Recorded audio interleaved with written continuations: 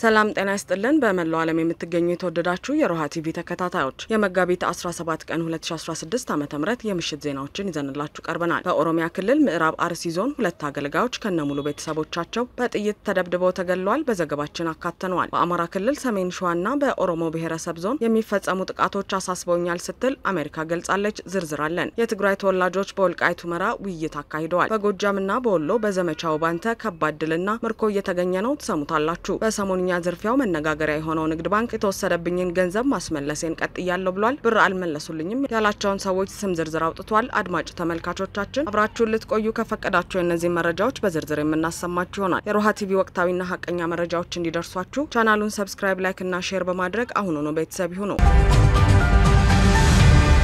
በኦሮሚያ ክልል ምዕራብ አርሲ ሁለት አገልጋዮች ከነ ሙሉ ቤተሰቦቻቸው በጥይት ተደብድበው መገደላቸው ተዘገበ። በምዕራብ አርሲ የደብረ ቅዱሳን ቅዱስ ገብረ ክርስቶስ ቤተ ክርስቲያን ሁለት አገልጋዮች ከነ ሙሉ ቤተሰቦቻቸው መገደላቸውን የማህበረ ቅዱሳን ቴሌቪዥን ዘግቧል። በኦሮሚያ ክልል በምዕራብ አርሲ ሀገረ ስብከት በዶዶላ የደብረ ቅዱሳን ቅዱስ ገብረ ክርስቶስ ቤተ ክርስቲያን ሁለት አገልጋዮች ከሙሉ ቤተሰቦቻቸው ጋር ለጊዜው ማንነታቸው አልታወቀም በተባሉ አካላት መገደላቸው ተነግሯል። የቴሌቪዥን ጣቢያው ግድያው የተፈጸመው ትናንት መጋቢት 16 ቀን 2016 ዓመተ ምህረት ከምሽቱ ሶስት ሰዓት ገደማ መሆኑን የአካባቢው ምዕመናን እንደነገሩት ገልጿል። በተፈጸመው በዚህ ግድያ የደብረ ቅዱሳን ቅዱስ ገብረ ክርስቶስ ቤተ ክርስቲያን አገልጋይ የሆኑት አንድ መሪጌታና ዲያቆንን ጨምሮ አምስት የቤተሰብ አባላቶች በጥይት ተደብድበው መገደላቸው ተገልጿል። የቴሌቪዥን ጣቢያው በዶዶላ ከተማ ጥቅምት 12 ቀን 2012 ዓ ም በርካታ ኦርቶዶክሳውያን መገደላቸውን በዘገባው አስታውሷል። በአማራ ክልል ሰሜን ሸዋና በኦሮሞ ብሔረሰብ ዞን የሚፈጸሙ ጥቃቶች አሳስበውኛል ስትል አሜሪካ ገለጸች። በኢትዮጵያ የአሜሪካ አምባሳደር እርቪን ማሲንጋ በአማራ ክልል ውስጥ ባለፉት ሳምንታት የተፈጸሙትን ጥቃቶች በተመለከተ የአገራቸውን ስጋት በኤምባሲያቸው የማህበራዊ ትስስር ገጽ ላይ ይፋ አድርገዋል። በዚህም በአማራ ክልል በኦሮሞ ልዩ ዞን እና በሰሜን ሸዋ ዞኖች ውስጥ የሚፈጸሙ ጥቃቶችን በተመለከተ የሚወጡ ዘገባዎች ዩናይትድ ስቴትስ ያሳስቧታል ብለዋል አምባሳደሩ። ከአንድ ሳምንት በፊት በአማራ ክልል ውስጥ በሚገኙት በተጎራ ባቾቹ የኦሮሞ ብሔረሰብ ልዩ ዞንና በሰሜን ሸዋ ዞን ውስጥ ታጣቂዎች ለበርካታ ቀናት የቆየ ጥቃት መፈጸማቸው ሲዘገብ ነበር። በዚህም በሰዎችና በንብረት ላይ ጉዳት የደረሰ ሲሆን ነዋሪዎችም ጥቃቱን በመሸሽ ከቤት ንብረታቸው መፈናቀላቸው ተነግሯል። ይህንን መሰረት አድርገው ነው በኢትዮጵያ የአሜሪካ አምባሳደር አርቪን ማሲንጋ ክስተቱ መንግስታቸው እንዳሳሰበው የገለጹት። በአማራ ክልል ውስጥ በሚገኙት ሁለቱ ዞኖች ውስጥ በተፈጸሙ ጥቃቶች በሰላማዊ ሰዎች ላይ ግድያ፣ ጉዳትና መፈናቀል መድረሱን የሚገልጹ ሪፖርቶች አሳሳቢ መሆናቸውን ያመለከቱት አምባሳደሩ ማንም ጥቃት በመፈጸም ነዋሪዎቹን ከቤታቸው ማፈናቀል የለበትም ብለዋል። ጨምረውም ሰላማዊ ሰዎች ጥበቃ እንዲደረግና ለአገሪቱ ውስብስብ ፖለቲካዊና የደህንነት ቀውስ መፍትሄ ለመፈለግ ቁርጠኛነት አስፈላጊ ነው በማለት ጥሪ አቅርበዋል። በኦሮሞ ብሔረሰብ ዞን ስር የመሸገው የኦነግ ታጣቂ ቡድን ወደ ሰሜን ሸዋ ጣዬ በመግባት የወረራ ጥቃት መፈጸሙ ይታወቃል። ይህን ተከትሎ በወቅቱ ዶችቬሌ ያነጋገራቸው ነዋሪዎች የኦነግ ታጣቂዎች ከትናንት ወዲያ ተደራጅተው መጥተው ጥቃት ከፍተው ነበር። አጣዬ ከተማ ላይ ሙሉ ቀን ሲታኮስ ዋሉ። ከሚሊሻዎችና ከከተማዋ ነዋሪ ጋር ሲዋጉ ውለው ሄዱ። ትናንትና በድጋሚ መጡ። ከተማ ውስጥ ለመግባት ሙከራ አድርገው ነበር። እስከ ቀኑ ስድስት ሰዓት ውጊያ ያደረጉ። እስከ ዘጠኝ ሰዓት የማጥቃት ሙከራ ካደረጉ በኋላ ወደ አስር ሰዓት ላይ ተመተው ተመልሰዋል ብለው ነበር። በየቦታው ተመተው የወደቁ ሰዎች አሉ የሚሉት አስተያየት ሰጪው ከኦነግ በኩል ተመተው የወደቁት መታወቂያቸውን ሲታይ ከሌላ ቦታ የመጡ መሆናቸው ተረጋግጧል ሲል ዶቼቬሌ ተናግሯል። የብልጽግና ተላላኪዎችና አክራሪ የኦነግ ቡድኖች በማህበራዊ ሚዲያ ጭምር ፋኖ በአጣዬና አካባቢው የኦሮሞ ተወላጆችን ጨፈጨፈ የሚል መረጃ ቢነዙም መሬት ላይ ያለው ሀቅ ግን አሁንም ተወራሪውና ተጠቂው በአጣዬ ያለው የአማራ ሕዝብ መሆኑ ነው። ይህንንም በዚህ መልኩ ዓለም አቀፍ ሚዲያዎች ሁሉ እያጋለጡ ሲሆን ብልጽግና ግን የአማራና የኦሮሞን ሕዝብ ለማጋጨት የማይቆፍረው ጉድጓድ እንደሌለ እያሳየ ነው። የወልቃይት ጠገዴ ሰቲት ሁመራ ዞን አስተዳደር ከትግራይ ተወላጆች ጋር መወያየቱ ተገለጸ። የወልቃይት ጠገዴ አማራ ህዝብ የጎንደር አካል ድንበሩም ተከዜ መሆኑን በዞኑ የሚገኙ የኢሮብና የኩናማ ብሔረሰብ ተወላጆች ተናገሩ። የወልቃይት ጠገዴ ሰቲት ሁመራ ዞን አስተዳደር በዞኑ ነዋሪ ከሆኑት የኢሮብ የኩናማና የትግራይ ብሔር ተወላጆች ጋር በወቅታዊ ጉዳይ ላይ ውይይት ማካሄዱን አሳውቋል። በውይይቱ ላይ የተገኙት የኩናማ ብሔር ተወላጆች አቶ ዮሐንስ ባዩ በ1923 ዓ ም ቃብትያ ሁመራ ወረዳ በድሮ ስሟ እንባድር ሱልጣን በአሁኑ ስሟ አዲጎሽ ቀበሌ መወለዳቸውን አንስተዋል። ሀገራቸውን በወታደርነት እንዳገለገሉ ያነሱት አቶ ዮሐንስ የወልቃይት ጠገዴ አማራ ህዝብ በጎንደር ግዛት በወገራ አውራጃ የሚተዳደር ህዝብ እንደነበር ተናግረዋል። ተከዜ የአማራ ህዝብ ታሪካዊ ወሰን መሆኑን አንስተው ተወልደው ባደጉበት ሀገር ከህዝባቸው ጋር በፍቅርና በመተሳሰብ እየኖሩ እንደሆነ አስገንዝበዋል። ተወያዮቹ የዞኑ አስተዳደር በአካባቢያቸው የተዘጉ ትምህርት ቤቶችን በመክፈት በቋንቋቸው እንዲማሩ እንዲያመቻችላቸውም ጠይቀዋል። የወልቃይት ጠገዴ ሰቲት ሁመራ ዞን አስተዳዳሪ አሸተ ደምለው የአማራ ክልል መንግስት በስሩ ብሔር ብሔረሰቦችን አቅፎ የያዘና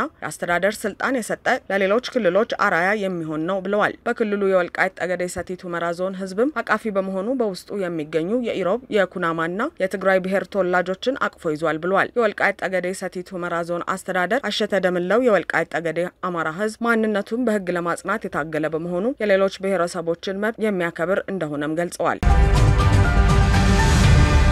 በጎጃምና በወሎ በዘመቻው ባንተ ከባድ ድልና ምርኮ እየተገኘ ነው። በወሎና በጎጃም የአማራ ግዛቶች ዘመቻ ባንተ የቀጠለ ሲሆን በዚህም ፋኖ ታላላቅ ድሎችን ሲያገኝ በምርኮኛና በከዱ ወታደሮችም እየተንበሻበሸ ነው። በደቡብ ወሎ መካነ ሰላም በቡድን ተጠርንፈው ሲጓዙ የነበሩ የሰራዊቱ አባላት ከነሙሉ ትጥቃቸው ፋኖን መቀላቀላቸው ነው የተነገረው። እነዚህ ፋኖን የተቀላቀሉት ወታደሮችም በደቡብ ወሎ የሚንቀሳቀሰውን የእስክንድር ነጋን ክፍለ ጦር ተቀላቅለዋል። ከሰልሳ በላይ የሚሆኑት እነዚህ የከዱ ወታደሮችም አብዛኛዎቹ ከፋኖ ጋር ተሰልፈው መታገል የጀመሩ ሲሆን የተቀሩት ደግሞ ድጋፍ ተደርጎላቸው ወደ ቤተሰቦቻቸው መላካቸው ታውቋል። ምንም እንኳን ፋኖ የትራንስፖርት ወጪያቸውንና አልባሳትን አሟልቶ ወደ ቀያቸው ቢልካቸውም በኦሮሚያ ክልል መንገድ ላይ ተይዘው ቤተሰቦቻቸው ገንዘብ እንደተጠየቁ ነው የተሰማው። በተመሳሳይ በጎጃም ደጋዳሞት የገባው የብልጽግና ጦር ከፍተኛ ሽንፈት እንደገጠመው ተነግሯል። ምዕራብ ጎጃም ደጋዳሞት ከተማን የያዘው የብርሃኑ ጁላ ጦር ንጹሐንን እየገደለ እየዘረፈና እያሳደደ መቆየቱ ይታወቃል። ነገር ግን በአማራ ፋኖ በጎጃም የደጋዳሞት ብርጌድ በአገዛዙ ጦር ላይ በየጊዜው በሚፈጽ የሚፈጽመው የደፈጣ ጥቃት የብልጽግናን ጦር እየቦረቦረ መሆኑ ታውቋል። በዚህም በምዕራብ ጎጃም ከፍኖተ ሰላም ከተማ በአገዛዙ ሰራዊት የታፈኑ ከ50 በላይ ወጣቶች አድራሻቸው መጥፋቱ ተሰምተዋል። በአካባቢው ተወላጅ ሆዳደር የሚሊሻና የፖሊስ አባላት ጠቋሚነት ከመኖሪያ ቤታቸውና ሰላማዊ እንቅስቃሴ እያደረጉ ካሉበት ቦታ አፈና የተፈጸመባቸው ሰላማዊ ሰዎች የት እንደተወሰዱ ማወቅ አልተቻለም ብለዋል ነዋሪዎች። የብርሃኑ ጁላ ጦር ከሰፈረበት አዲስ እየተገነባ ባለው ሆስፒታል ውስጥ ካለው ካምፕና ፍኖተ ሰላም ማረሚያ ቤት ውስጥ ቢፈለጉም ሊገኙ እንዳልተቻለና ተረሽነው ሊሆን እንደሚችል ተገልጿል።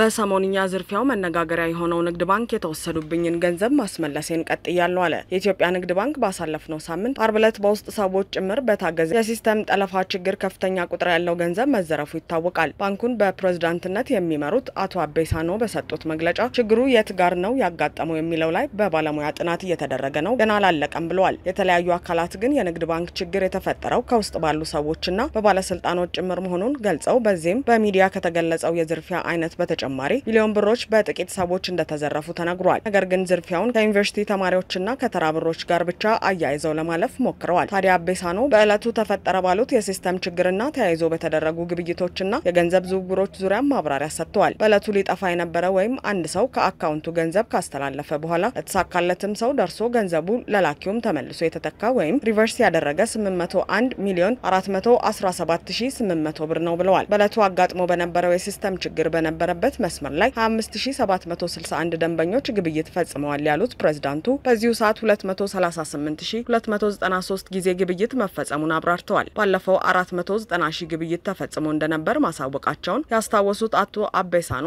ችግር ባለበት መስመር የተፈጸመው ግብይት 238293 እንደነበር እና ሌሎቹ ግብይቶች ችግር ባልነበረበት መስመር የተከናወኑ መሆናቸውን አስታውቀዋል። በዕለቱ ተገቢ ያልሆነ ግብይት ወይም የገንዘብ ዝውውር የተፈጸመባቸው አካውንቶች 25671 እንደነበሩ በመጥቀስም አንድ ደንበኛ በአማካይ ከዘጠኝ ጊዜ በላይ ግብይት መፈጸሙን ነው በመግለጫቸው ያነሱት። በዕለቱ አንድ ወይም ሁለት ግብይት የፈጸሙ ደንበኞች ጥርጣሬ ውስጥ እንዳልገቡና ያለአግባብ የተወሰደ ገንዘብ ከሂሳባቸው ተቀናሽ ተደርጎ እንዲመለስ መደረጉንም አስታውቋል። በዚህም በአካውንታቸው ላይ በቂ ገንዘብ ከነበራቸው 10 ሺህ ደንበኞች ላይ 44 ሚሊዮን ብር ተመላሽ መደረጉን ነው የባንኩ ፕሬዝዳንት የገለጹት። ቀሪዎቹ 15008 ደንበኞች 207 ሺህ ግብይት ፈጽመዋል ያሉት አቶ አቤ ይህም እያንዳንዱ በዚያ በሌሊት በአማካይ 14 ጊዜ ግብይት መፈጸሙን ያሳያል ብሏል። ሂሳባቸው ላይ ካለው ብር ወስደው ከነበሩ 18008 ደንበኞች መካከል እስከ ትናንት ማታ ድረስ 372 ሚሊዮን ብር ድረስ ተመላሽ መደረጉንም አስታውቀዋል። ከእነዚህ ውስጥ 9281 ሰዎች ሙሉ በሙሉ ያለባቸውን መክፈላቸውን እንዲሁም 5160 በከፊል መልሰው ቀሪውን ለመክፈል ቃል መግባታቸውንም አቶ አቤ በመግለጫቸው ያብራሩት። በዚህም መሰረት እስካሁን በድምሩ ሊጠፋ ከነበረው 800 ሚሊዮን ብር ውስጥ 623 ሚሊዮን ብር መሰብሰቡን የገለጹት ፕሬዝዳንቱ ቀሪውን የማስመለስና የማፈላለግ ስራ እየተከናወነ መሆኑን ጠቅሰዋል። በህገወጥ መንገድ ገንዘብ ከወሰዱት መካከል 567 ደንበኞች ጠፍተዋል ያሉት ፕሬዝዳንቱ ሙሉ አድራሻው አለን እየፈለግናቸው ነው ብለዋል። አድማጭ ተመልካቾቻችን የሳቱ የሮሃ ቲቪ ዜናዎች የተከታተላችኋቸውን ይመስሉ ነበር። አብራችሁን ስለነበራችሁ ከልብ እናመሰግናለን። ሰላም